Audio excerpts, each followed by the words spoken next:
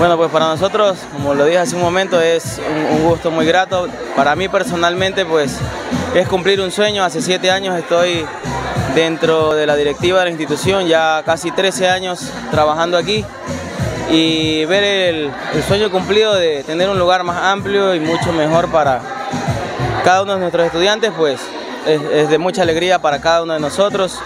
Igual agradecer a las personas que han estado con nosotros desde el inicio, desde que comenzamos en la floresta, desde pisos de tierra y todo lo demás, pues es muy grato. Me acabo de encontrar con un padre de familia que me dice, soy Maranata. Entonces son cosas que nos llenan de satisfacción y que nos han permitido poder alcanzar este sueño.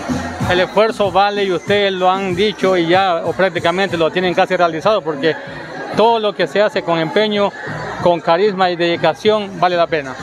Como decía nuestro pastor y nuestro líder dentro de la unidad educativa Maranata, pues iniciamos el proyecto justo antes de empezar pandemia. Eh, fue algo que como que quiso matar el sueño, porque nosotros empezamos a trabajar y 15 días después empezó la cuarentena.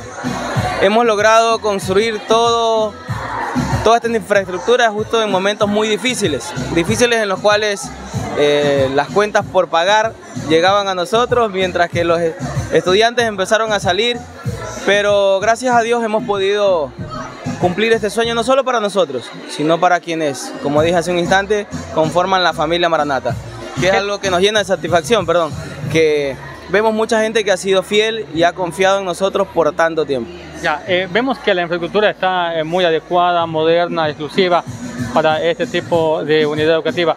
Eh, para hacer comunidad, ¿cuál sería el tiempo reglamentario?